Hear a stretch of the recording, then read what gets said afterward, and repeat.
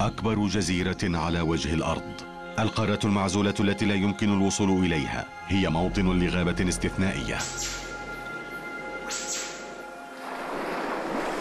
إنها تزدهر بفضل الرطوبة التي تنتج عن المحيط الهادئ والجبال التي تبدو وكأنها تخرج من المحيط نفسه وتصطدم بالسحب المرتفعة. هذه هي الغابات القديمة التي كان الوصول إليها صعبا منذ بداية الحياة وهي تشكل عالما مصغرا مميزا. بعد هذه الأدغال هو ما يجعلها مختلفة بشكل مذهل.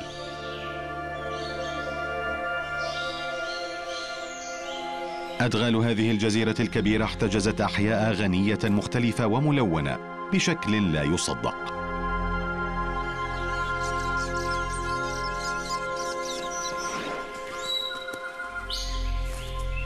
لم تكن أستراليا معروفة لبقية العالم حتى اكتشافها قبل قرنين تقريبا.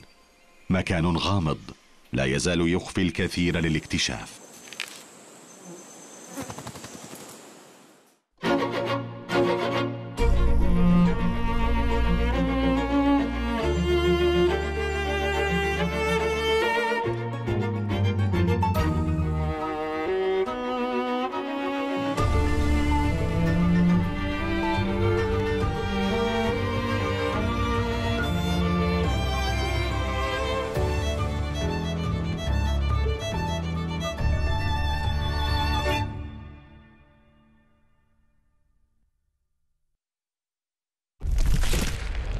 أستراليا. هي جزيرة قارية ضخمة تستضيف غابة فريدة على سواحلها الشرقية.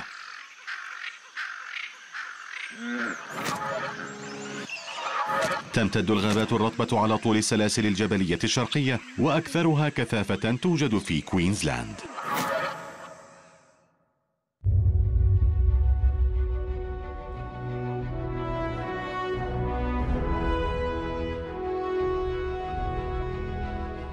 الغابة المطيرة الأسترالية. هي واحدة من أقدم الغابات وأكثرها تميزا على الأرض. عزلتها تعني أن الكثير من الأحياء التي تعيش في المنطقة هي ساكنتها الأصلية ولا توجد في أي مكان آخر.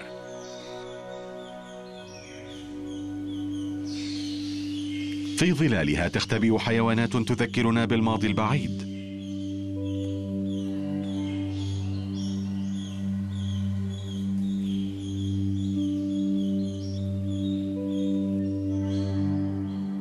تبقى من الأحياء القديمة التي تختبئ في أوراقها.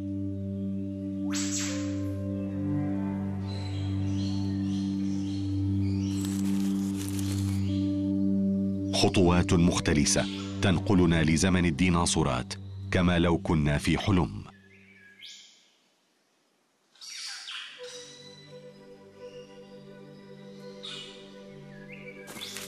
بالرغم من عدم وجود ديناصورات حية هنا لا تزال العديد من النباتات التي رافقتها قبل 130 مليون سنة تقريبا تنمو في المكان.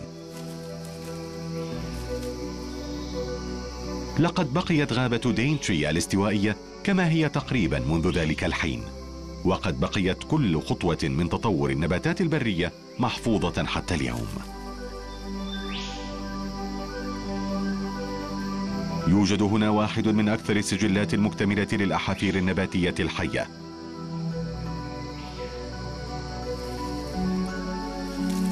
بالتاريخ الطويل الذي يقف خلفها منحت هذه الغابة الوقت للحيوانات لتتعلم كيفية استغلالها على كل المستويات وبكثير من الطرق المختلفة.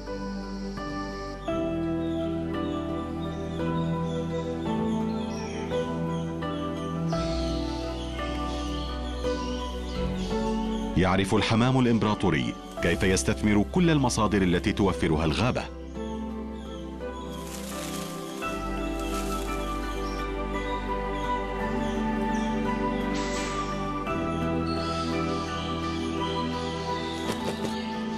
أثناء موسم التزاوج يقوم بجمع الأغصان وفقا لحجمها وكثافتها تحضيرا للعش البسيط الذي يبنى في بعض الأركان السرية من أوراق الشجر.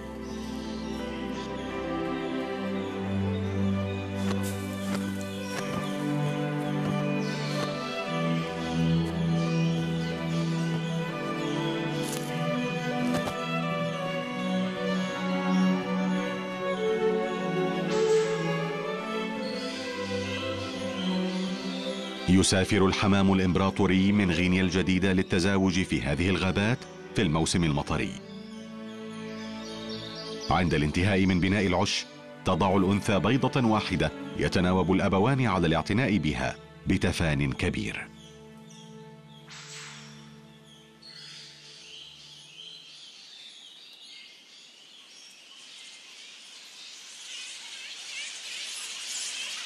الأدغال الأسترالية هي نظام بيئي مليء بالفرص إذ ترتبط حياة النباتات والحيوانات فيها بشكل وثيق.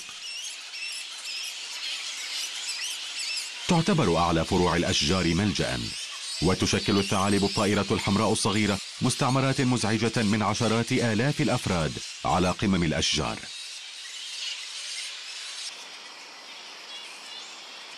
خلال النهار تلهو هذه الطيور أو ترضع صغارها التي تبقى عالقة بأجساد الأمهات لعدة أسابيع. تعتمد حياة الصغار على هذا العناق الأمومي فالسقوط كفيل بقتلها.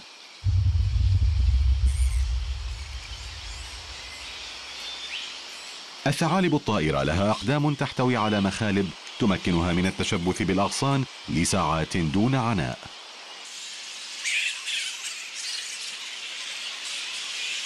ستحلق في الليل عشرات الكيلومترات لتأكل الثمار الناضجة والأزهار.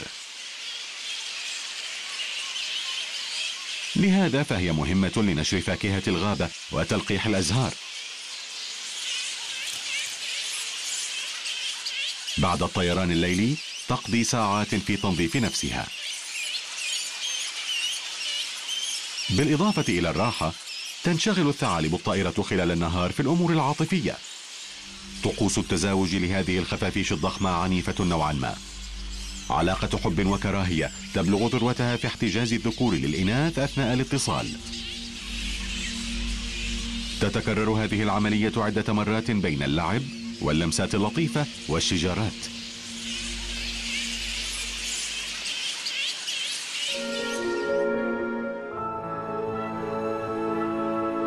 بعيدا عن صخب مستعمرة الثعالب الطائرة لا تستخدم الأغصان الأخرى للاستراحة بل لتقديم العروض.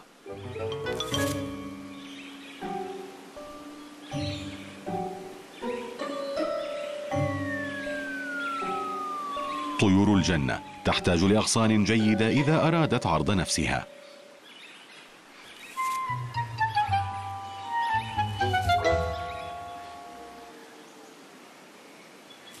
لجذب الإناث ستتردد طيور الجنة من نوع فيكتوريوس على عدد من المواقع الجيدة في منطقتها.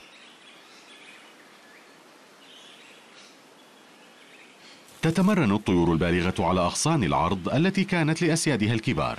إنها تمارس رقصة التزاوج الخاصة بها مرة بعد مرة وتنافس بعضها البعض.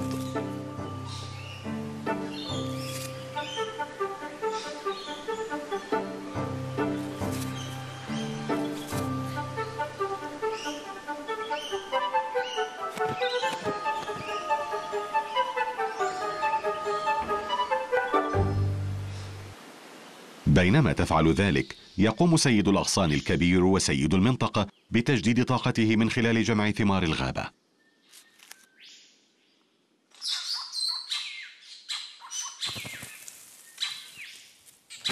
لكن لديه مواقعه المفضلة وهو يراقب الممثلين الصغار طوال الوقت. حان الوقت لتنظيم الأمور. يظهر الذكر المتألق بوضعه المثالي من المسؤول هنا. بقليل من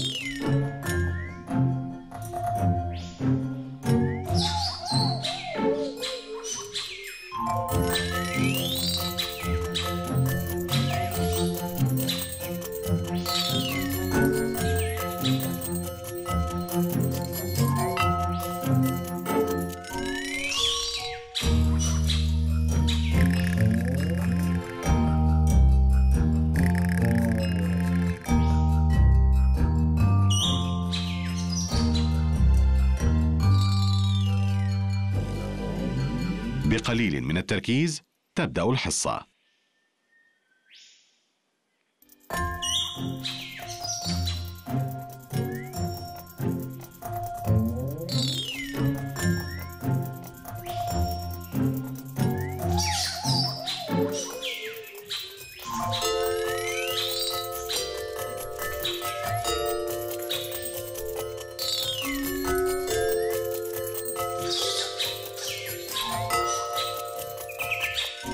مع رقصته المدهشة وريشه المتألق. لا يمكن لأحد ألا يلاحظه.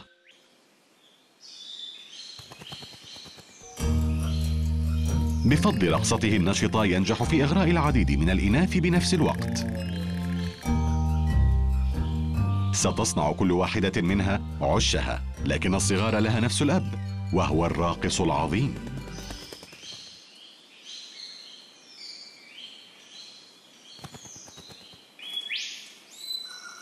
بالرغم من أنها تتشارك نفس الغابة إلا أن طيور الشبنم في تناقض تام مع طيور الجنة من ناحية الوزن وخفة الحركة. هذه الطيور الكبيرة معروفة بأنها عدائية. ركلة واحدة من طائر الشبنم المسلح بمخلبه الأوسط الحاد كالخنجر كفيلة بقتل أي مفترس. لكن في الواقع وبعيدا عن الغضب الحاصل أثناء مشاركة الطعام تكون هذه الطيور خطيرة فقط إذا تعرضت للضغط.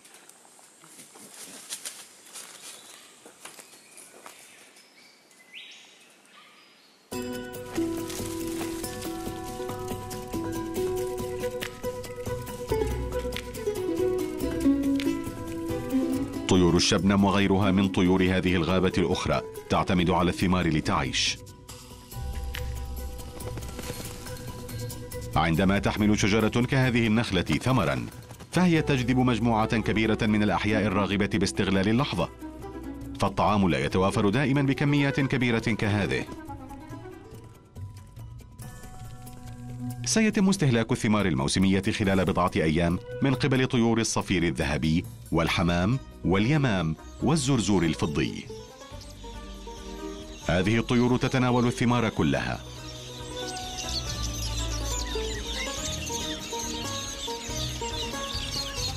مستعمرة الزرزور الفضي قريبة جدا في أعلى فروع شجرة طويلة.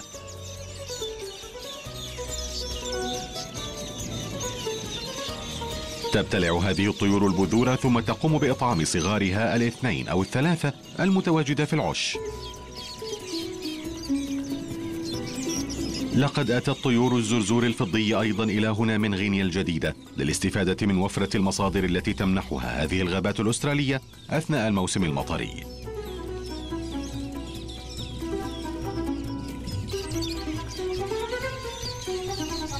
تبني طيور الزرزور مدينتها الصغيرة عن طريق نسج النباتات بين فروع الأشجار.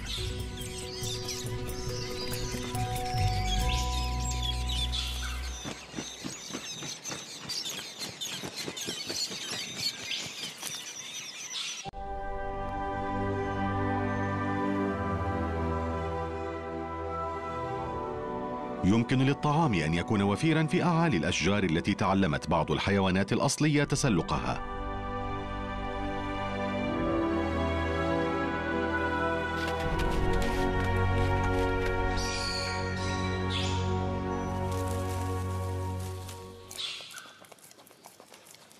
لقد استبدلت بعض حيوانات الكنغر المناطق الجافة والنائية بأفرع الأشجار.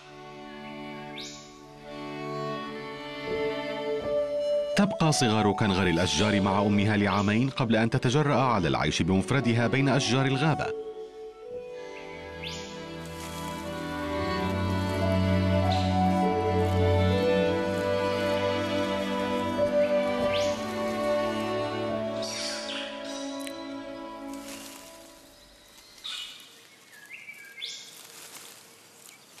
على الرغم من جسدها المستدير والذي يبدو بدينا. فإن حيوانات كنغر الشجر هي في الحقيقة متسلقة ممتازة.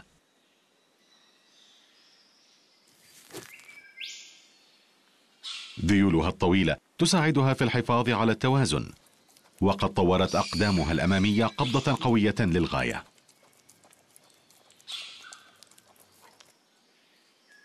طبيعتها الهادئة هي نتيجة لنظامها الغذائي الذي يقتصر على الأوراق. وبالتالي فهي لا تتناول الكثير من السعرات الحرارية. لذا فإن كنغر الشجر يأخذ مسألة تخفيض استهلاك الطاقة على محمل الجد.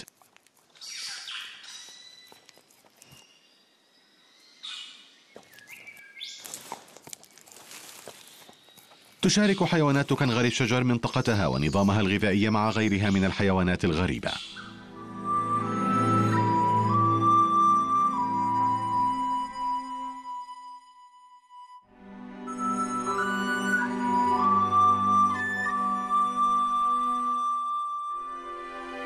بعض آكلات أوراق الشجر في الغابة كفأر الأوبسوم تخرج فقط لتناول الطعام في الليل أثناء النهار تنام بين الأغصان.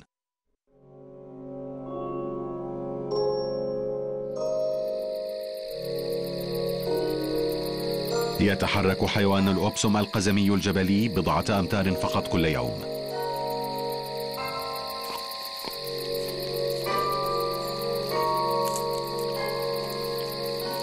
ما من داع لفعل المزيد بينما يمكنك العثور على مجموعة أوراق لذيذة بجوار سريرك.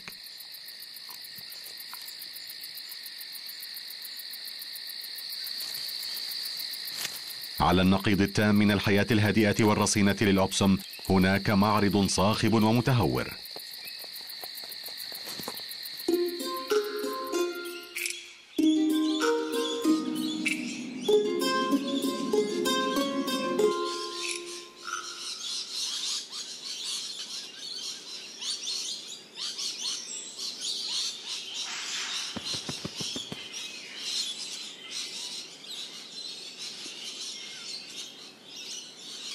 المزيج المذهل للألوان الرائعة والفوارق.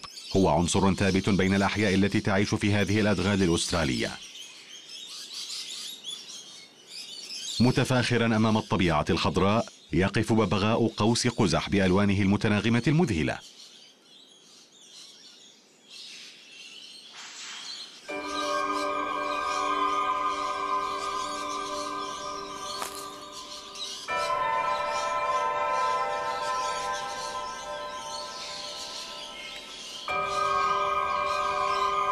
تشكل طيور ببغاء قوس قزح أسرابا صغيرة للبحث عن الأشجار المزدهرة. لسان هذا الببغاء يشبه الفرشاة ليساعده على جمع الرحيق وحبوب اللقاح.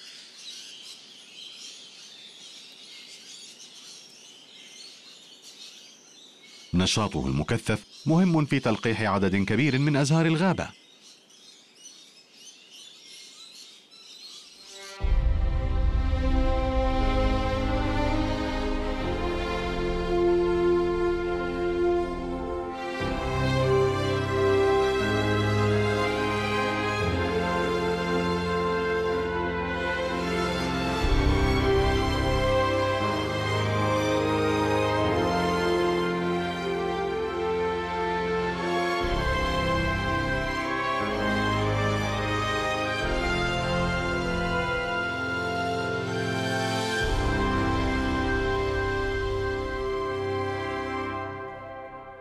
بينما ترفرف طيور ببغاء قوس قزح وتملأ معدتها.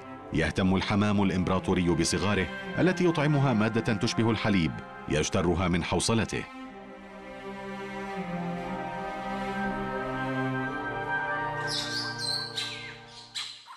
الفرخ صغير جدا ويجب أن تعلمه الأم كيف يأكل.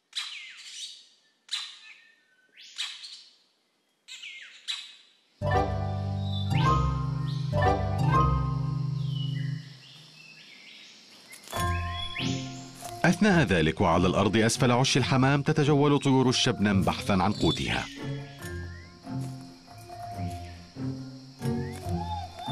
تقوم بجمع الثمار التي تسقط من الأشجار وهي معروفة بتناول ثمار أكثر من سبعين نوعا من النباتات.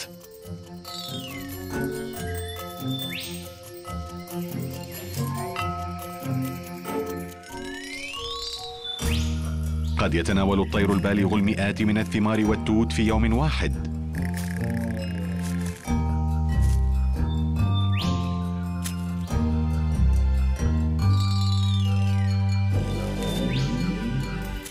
لكن شراهة طيور الشبنم ليست هي نهاية الطريق للبذور. فمعظمها يخرج سليما من القناة الهضمية لهذه الطيور. في الواقع هذه الخطوة المتعلقة بعبور البذور في أحشاء الطيور الكبيرة هي مهمة في تنشيطها لتتمكن من الإنبات. بينما تتجول طيور الشبنم في منطقتها تتناول الطعام وتشرب وتقضي حاجتها. تنقل البذور من حيث وجدتها لمسافة 800 متر على الأقل.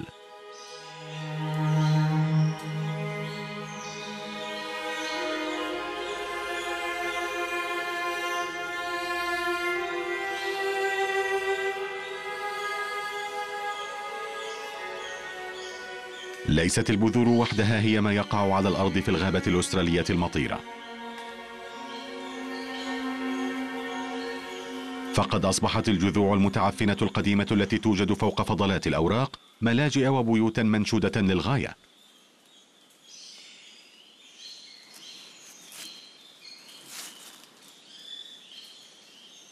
تشارك حيوانات الكنجر الفأري المسكي طيور الشبنم شغفها بالثمار المتساقطة. لكن الغابة توفر أطعمة أخرى وهذا الحيوان شبه قارض. يعيش هذا الحيوان الجرابي الغريب في غابات شمال غرب أستراليا حصريا. يجب أن يكون المرء في هذه الغابات الرطبة حذرا. فهناك حيوانات مفترسة فريدة من نوعها قادرة على القتل بعضة واحدة. الديسور النمري هو حيوان جرابي آكل للحوم وهو متوحش بالتأكيد. كحيوان الكنغر الفأري يستخدم الديسور النمري الأشجار القديمة بيوتا له. هذا المفترس الرشيق قادر على تسلق الأشجار للصيد وهو يفعل ذلك على الأرض أيضا. طعامه يتنوع بين الطيور والزواحف وغيرها من الثدييات كالكنغر الفأري. حتى إنه يتغذى على الحشرات.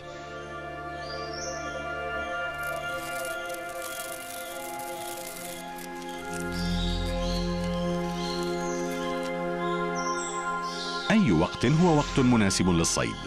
لكنه يفعل الصيد في المساء وفي الليل عندما يكون الظلام مسيطرا على أعماق الغابة.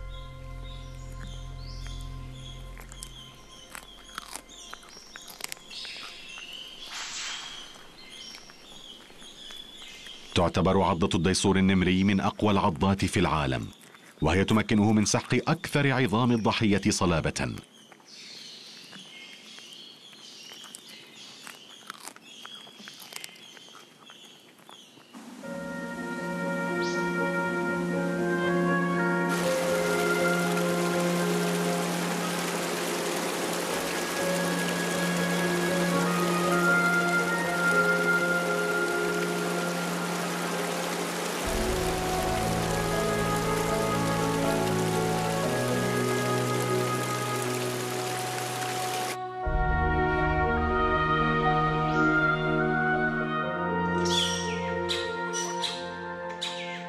الغابة الأسترالية المطيرة والبدائية هي مكان مميز في العالم.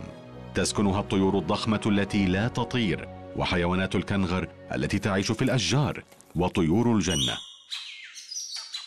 كل يعيش بطريقته المميزة لكن من بين كل هذه الحيوانات يستحق طائر التعريشة الذهبي لقب الأكثر أصالة.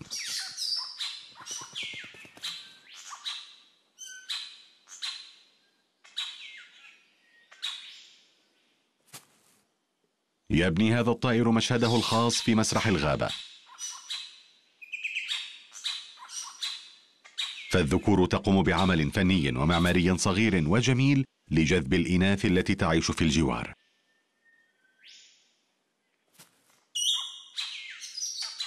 هذا بلا شك واحد من أكثر الأمثلة تعقيدا حول السلوك في مملكة الطيور. توفر الغابة لطائر التعريشة كل شيء يحتاجه لبناء بيته الفروع الصغيرة وأنصال العشب والأشنات والأزهار.